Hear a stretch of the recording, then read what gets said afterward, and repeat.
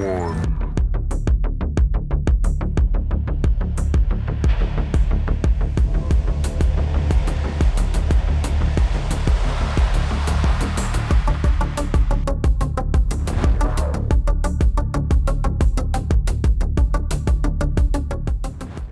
really excited about the 2020 truck was we have a couple examples over here. Um, so some pretty interesting new news for the 20 model year. Starting on the outside, uh, all new grills, new fascia, new headlamps, so increased output in the LEDs as this truck is equipped with. Um, all except for our DRW wheels and our base XL wheels are new. So we have about nine new wheels that also go along with it, in addition to some new colors. Uh, moving on to the interior, Lariat and uh, Platinum have some new finishes as well as some new colors. And then the limited interior has been very heavily refreshed for 2020. So a Highland tan color, Miko suede headliner, uh, some new finishes as well. And overall, just a very nice like theme and fit within the, the limited truck. So moving on to some technology, technology has been a big part of our story for 20 model year. We now have Pro Trailer Backup Assist, feature you guys might be very well aware of on both F-150 as well as Expedition, that will be uh, available on 2020 Super Duties. And now it will work for the first time in any application with uh, conventional tow, fifth wheel, or gooseneck applications. And trailer reverse guidance will also work with conventional fifth wheel and gooseneck applications as well. Uh, a couple other details in terms of technology for 2020. We every single Super Duty comes with an embedded modem standard, so that allows you to lock, and unlock, remote start your truck just using your cell phone.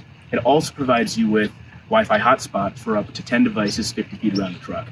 And then finally, we brought some DAT features and made them standard XLT and above. So every XLT and up Super Duty will come with blind spot monitor, uh, auto emergency braking, automatic high beams, uh, and some others. And then finally, some new packages for 2020 and some that we're continuing for 2019 as well. This truck is an example of both. So continued from 2019, it's a Lariat Sport package, which gives you the blacked out grille, black wheels, black mirror cap, um, and for the first time on an American Ford, a black Ford Oval.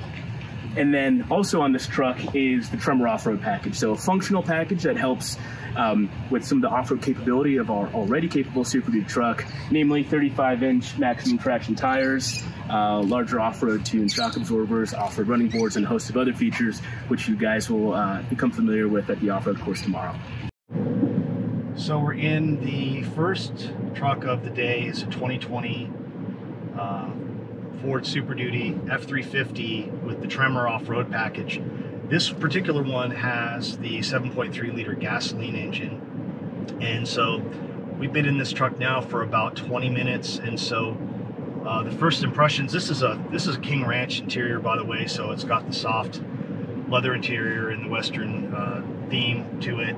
And um, the truck interior, for being an off-road package, is very, very quiet. Even with the off-road tires, there's a very soft buzz. You might be able to hear it in the background, but uh, overall, the cabin is really, really quiet, very roomy. Um, the steering feels a little bit overboosted. It's a um, it's a hydraulic steering system, but it has some electric assistance that uh, boosts it depending on whether you are in a uh, parking lot situation or a low speed maneuverability situation or whether or not you're on the highway. At low speeds, it feels a little bit overboosted to me, a little bit unnatural, but um, it's a lot of people are probably going to appreciate it because it is a big truck and um, you know turning large tires on pavement can be can be an effort if it's if you don't have some boost. But for me personally, it's a little bit overboosted, but not a big deal. The um, the brakes feel good. I've driven some heavy duty trucks uh, recently that um, the brakes just didn't feel very confident, inspiring. And now that we have this one on the road, so far the brakes have a very good feel. We haven't had to do any real kind of a panic stop or anything like that, but they have good travel. They um, uh, they're pretty progressive and, and predictable, and so so far everything feels good nice steering wheel, good padding, got some good welts here on uh, on the 10 and 2 position, and um, so far very comfortable truck. So now we're on some pretty open road out here in the desert, and um, the road is obviously not as smooth as highway, but we're still getting some uh, very quiet interior, feedback, and um, the vehicle rides pretty smoothly considering what it's designed for. Got some railroad crossings coming up here. Not too bad. I mean, I've been in a lot of heavy duty trucks earlier on that, um, you know, you'd, you'd feel that in your back. Uh, but this this truck is really very pleasant to drive for a long distance. And with this 7.3, we're going to see how the power is. We're doing 60 miles an hour. Let's go up to about 70 and see what that takes. So it pulls pretty strong. That's actually 80 miles an hour. That is a very strong V8. Um, so I don't think anybody that uh, chooses the 7.3 liter V8 uh, gasoline engine is going to be disappointed. I guess we're going to be going about eight miles on uh, a dirt road. And this isn't really a bad dirt road. Um, an 18 wheeler just came the other direction. But um, you can definitely uh, feel a little bit of washboard. But it, this is not a jolting ride by any means. It's not the roughest road in the world again, but um, the ride feels pretty smooth. And if you, if I stop talking here for a second, you can even hear how quiet it is. And the only noise that you're getting is from these bottles, really. Very little shake and rattle for uh, going 50 miles an hour across a, uh, a gravel road. And, and in reality, this is the most off-roading uh, most customers are going to do. Are going to do a real lot of hardcore off-roading, but we are heading to an off-road course that Ford has set up for us, and so uh, then we'll actually be putting this tremor package uh, through its paces. We've already been on about 20 miles of dirt road, and we're passing kind of a construction zone over here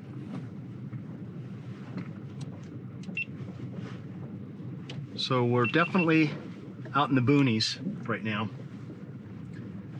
And uh, Ford obviously has plenty of room to put a good off-road course together and we've heard good things so far about this. I know um, that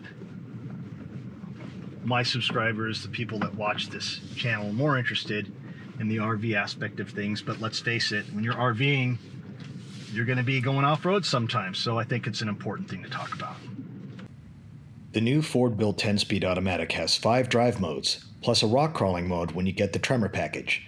These make it easy for novice off roaders to navigate difficult terrain by pushing a button at the end of the shift selector. One of the most challenging parts of the course was what could only be described as a dirt wall, but the Ford guys made it look easy in the F 350 Tremor.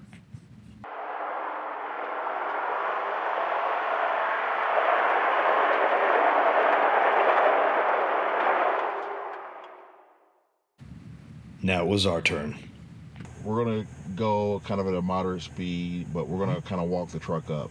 And Right. I'm gonna tell you step in, step in, step in, hold it, and if I tell you step in more, I want you to keep going into pedal. Mm-hmm. The the idea is that we're gonna go up. We may have a little bit of wheel spin, uh, just but hold steady. yeah, but as long as it's grabbing and we're moving, we want to keep going. Gotcha. Um, you can see by my angle of my head right now, I have to look like this to see up this hill. So, all right, so we're ready to go. Right? Sure, re- Ready? You think it's a good idea to double foot it here? Uh, no, you should. We should be fine. Okay. Just, All right. just go. All right, here we go.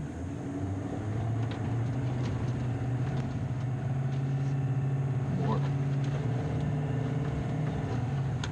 Keep going. That was pretty easy, I gotta say. Throughout the rest of the course were a variety of other challenges, including a twist ditch, which put suspension articulation to the test, a water feature, which demonstrated the Tremor's 30 inches of water fording capability, lots of muddy roads, and a high speed mud pit, which really was just for fun.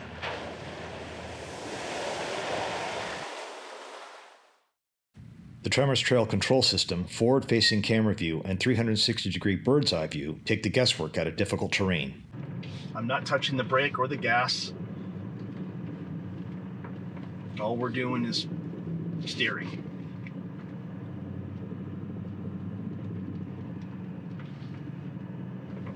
And are we turning. Turn to the right. To the right. Yeah, okay. Can't see very well out my window now. Yeah. Jay will hug a little bit to the left. Okay.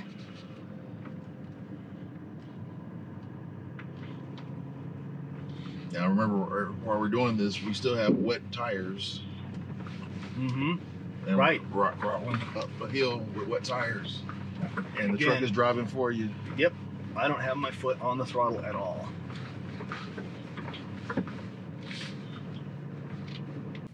For more ambitious off-roaders, the Tremor is even prepped for a 12,000 pound Warn winch, which can be installed by the dealer.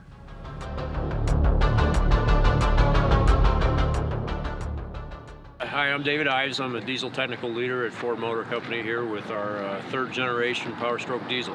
Awesome. And we were talking a little bit earlier, and you said there are four points that were really important about this new Power Stroke. Can we go through those real quick? Yeah, absolutely, absolutely, Chris. So first of all, this is diesel, so we're going to talk diesel fuel system first. So Okay. We have a uh, previously we had a 2,000 bar or 30,000 pound uh, operating system, Mm-hmm. and we've increased that to 38,000 pounds or about 2,500 bar. So it's Okay. about a 25% increase in uh, operating pressure. That operating pressure uh, allows us to inject the fuel faster at full power to make more power and torque Okay. and also uh, better atomize the fuel for improved efficiency at uh, driving speeds and also uh, better tuning for emissions. Okay. So those are the main advantages of the fuel system. Yes. Okay. yes. And Uh, so moving on from fuel, next for, for combustion you have to have air, and to drive air into this engine we have a new turbocharger. Okay. And that turbocharger fe- features uh, a new uh, turbine stage that has uh, what we call a double axle design for the vane control system. Okay. And previously we had an axle on one side and a vane tab on the other. This double axle design better supports the vanes, and that, that better support allows for tighter vane side clearances, which improve the efficiency of the turbocharger. Okay. The way it does that is because of that extra support, we're able to run tighter clearances uh, in the housing. And then more of the gas goes through between the vanes instead of around the vanes, improving the efficiency of the turbocharger. So this turns Okay. into improved fuel consumption and more torque and power for the customer. Okay. And we talked about now that's also got a that's a ball bearing. Yes, it- Turbocharger it, from does Garrett? Feature, uh, it does feature ball bearings this time for again for improved efficiency. Uh, the outgoing product had a journal bearing. Journal uh, bearing turbo. Okay.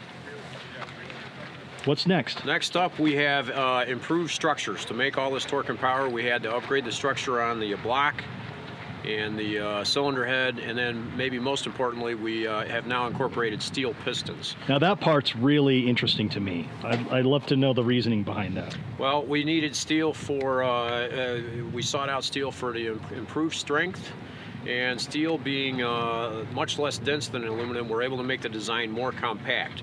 So the sides of the piston or the skirts are smaller, Mhm. which allows for less sliding friction as the piston's moving up and down the bore. Okay. And also being smaller, the uh, that allows for the connecting rod to be a little bit longer, so the thrust forces along the side of the bore are less, again improving friction. Okay. So that turns into, again, fuel consumption benefits for the customer with that reduced friction and the improved strength uh, in combination with the cylinder head upgrade and the uh, cylinder block upgrade allow us to run at higher operating pressures, which allows for the increase in torque and power. Okay. That makes sense.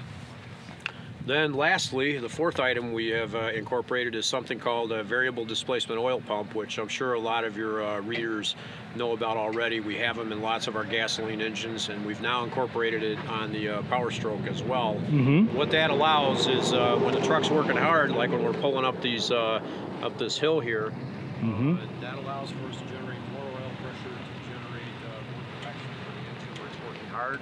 And then when we're coming back down the hill and not much as, as much oil pressure is required, Sure. can back off a little bit and deliver better fuel consumption for the customer. Mm-hmm. So Okay. these are the four these are the four major upgrades that we've done, uh, delivering more torque, more power, better fuel economy, and uh, the same reliability and durability our customers have come to expect for this third generation Power Stroke.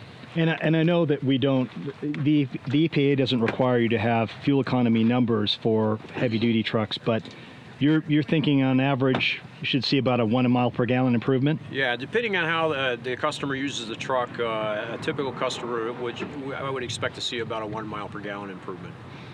That's decent, especially if somebody drives a lot. Yep. Yeah, it's uh, all about cost of operation. We know that's important to our customers. That's part of what we want to deliver. Another thing we're talking about were some of the other small improvements to the truck itself. Yeah, so one of the things we've done is we've improved the uh, air induction system that feeds air into the engine. Mm-hmm. We now have moved the battery rearward here and have pulled the air cleaner air box forward, allowing for a bigger uh, air cleaner Okay. and lower pressure drop across it. And then Mhm. more, even more importantly, when you're towing in hot weather, these ducts are positioned forward enough now, one here above and one here behind the grill, such that you don't get as much rise over ambient. In other words, there's not as much hot air that gets into the engine. Cooler Okay. combustion air leads to more horsepower when towing heavy loads. Okay. So that's another subtle but yet important improvement that we've uh, offered here on the third generation Power Stroke. So, what are we going to do here before we start towing? So the first thing we're going to do is we're going to we're going to switch to uh, tow haul mode. And I think we can do that by touching this button right here. So now this is regular drive mode, Right. and I'm going to switch now over to tow, Tow haul, mode. Okay, so we'll do most of the trip in tow haul mode. This gives you a better shift schedule for handling with the trailer. It'll it'll run the RPM up farther before it shifts for just about any pedal po- position. Okay. Also, when you're going downhill, it'll it'll uh, increase the engine speed to help slow the vehicle down as you're going down grades.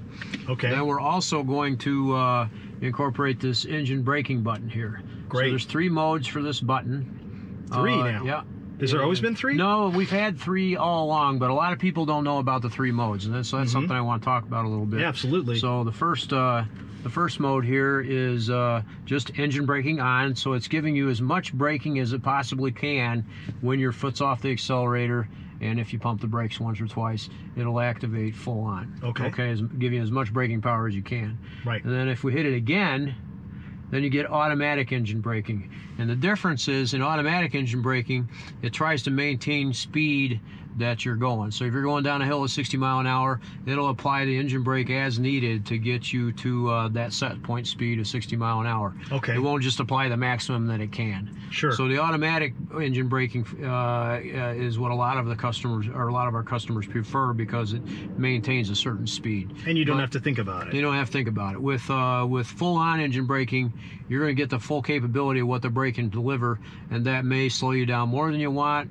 uh, or it may not. Mhm. But uh, it does give you the maximum. So we like to offer our customers that choice. Okay, and I can see that's why you've chosen this grade up ahead because it looks like it's a pretty steep upgrade. yeah, it's a six percent grade once you get it. Uh, once you make the turn up there, I don't know if the camera can see that yet, but Yeah. uh, but uh, up, up there once you make the turn, you're on about a six percent grade all the way up. There. And that's pretty pretty typically the most you're going to see yeah, in most that's a standard in the uh, US. standard in the U.S. for commercial trucks, is they try not to put them on anything steeper than six. Right. There's some little sections that are steeper than that, but not for very long. Okay, and and with the with the exhaust braking, that's done through the turbocharger, isn't it? Right. Yeah. What we're doing there is with the fuel off. Okay, engine's not uh, making torque. Mhm. Fuel off. We clamp down on the vanes to make the tougher for the engine to pump air through it, and uh, that creates a pumping loss, which turn, makes the engine harder to turn, and that slows the vehicle down. Okay. All right, so um, so we're ready to go. Yep. All right. And this this trailer is nothing for this truck. Yeah, I think as uh, anywhere you feel like it, I think if you step down on the pedal and you'll feel that the truck uh, accelerates just fine. Yeah, it's this is that trailer is probably thirteen thousand pounds. I think it's somewhere between 12 and a half and 13 if I was to guess. Mm-hmm. Yeah, I think you're right. It's And about your so- standard uh, medium size. And this truck is probably where are we at on tow rating with this Uh, truck? tow rating, tow rating for this truck. Well, this is an F350 dually, right. so it's rated to tow. Uh, it's rated to tow. Uh, I think max gross combined on these is uh, just just above 40,000 pounds. The model we were towing was actually the Grand Design 290BH, which is just over 34 feet long and has a gross vehicle weight rating of 10,195 pounds. Clearly, an F 350 dually with the 6.7 liter power stroke is overkill for a trailer like this, but in reality, it's overkill for any fifth wheel trailer you're likely to find. The truck had no problem pulling this 6% grade in 6th gear at a little over 1500 RPM. Right now, we're standing with Don Mattern, who's a Pro Trailer Backup Assist Supervisor, and we're going to talk a little bit about Pro Trailer Backup Assist, which is available now in Super Duty for the first time, and also for the first time works with a fifth wheel trailer. So, walk us through how that works. All right, so we didn't, we weren't able to use an image-based concept for trailer angle detection on the fifth wheel. Which was like that sticker that went on the A-frame, right? Right. There wasn't a mm-hmm. surface. It's not consistent Right. between different trailers. There's all kinds of front ends. So we had to come up with a system. What we decided to do was put a yaw rate sensor on the trailer. It's housed in this plastic housing, and there's a few simple instructions to get this mounted to your trailer. Right. If you have a flat vertical surface, right, it has to be on a vertical surface. It hmm. has to have those arrows pointing up. To mount it on this trailer, there's an adhesive backing on the back plate there. You just mm-hmm. take peel off the, the, the top cover on the adhesive tape, stick it on, you're good to go. Now that kit comes included with your fifth wheel prep package. Okay. You also get the connections inside the box for that connection uh, for that sensor, right? Inside the power box there. Inside the power box. So the top connection is your normal seven pin connector for your trailer wiring, Okay. brakes, and lighting. Right. The bottom connection is a 12 pin connector. Two of the pins are used for our yaw rate sensor. Also connects the other trailer technology we have. If you want the camera system, you can use those pins, as well as the trailer TPMS. So our trailer technology goes through that connection. So a little bit about how it works. Mm-hmm. So uh, if the yaw rate we know about the truck because there's inertial sensors for like stability control. So Sure. we know how the the truck's yawing. We know the mm-hmm. wheelbase of, of the truck mm-hmm. Once we know the yaw rate of the trailer, we can determine the tra- we can estimate a trailer length based on a dynamic drive. Mm-hmm. If you're in setup for TBA or trailer backup assist, mm-hmm. it'll guide you through what you have to do. If you just have the sensor plugged in and you're driving, it'll learn the system. It doesn't take all that much. It's a three or four minute drive. You just got to make a couple turns and drive straight. Another interesting feature of the Pro Trailer Backup Assist system is the electric over hydraulic power steering, which uses a motor and controller to modify the torque going into the hydraulic system. This way, steering effort can be changed as needed. Um, one of the other advantages is we can do features with that system. So um, a couple of features we've already put on the system is pull drift compensation. So if you're getting a constant side wind and having to fight against it, Oh yeah. we can do a torque offset because we're looking at yaw rate and we're saying, well, the tr- truck's not turning, but he's putting in a constant effort. We can put an offset in and say, oh, then he doesn't have to fight a, road crown. You don't have to fight against it all the time. It'll learn, and then if that road crown changes, the wind stops, it'll quickly learn and adjust and say, oh, I don't need to put that offset in anymore. Wow. So you said the part that is existing on this power assisted. Is the recirculating ball gear way down there with the That's the hydraulic part that's tubes new? running into it? No, that's the old part. That's the old part. Okay. Right, and the new silver part is the motor and controller that we added to the system. So now we're going to actually use this system.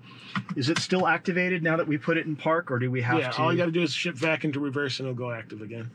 and then I'm just going to steer with this knob from here Right. on. My advice on using the knob is slow, turn and hold, and then see how the trailer reacts and adjust the position based on how the trailer's reacting. So just now I'm turning it the way I want it to go in the mirror, correct? right. So I'm just. Do I have to let off the brake completely? Yeah. Well, I mean, you modulate the brakes. We're going on a little downhill grade, so you really don't have to hit the throttle. You just All right, modulate so the here brakes we to control the speed. and we're starting to turn and you can see the steering wheel doing its own thing which is really pretty weird to experience and we're staying out of the yellow so far and looks like we're doing pretty good following those cones yeah Yeah. No, it's looking good. almost like i've done this before It kind of looks like it. Now the key is, are you going to know when to let go of the knob and let it start straightening it out? well i don't know As it turns out, it's not quite as easy as it looks. While it is easier and faster to learn than traditional backing methods, there's still a learning curve involved, and this will vary depending on the size of the trailer and the driver's experience. So, whether you enjoy driving off road or plan to do most of your towing on the highway, the 2020 Super Duty has the power and the technology you need to accomplish almost any task with ease.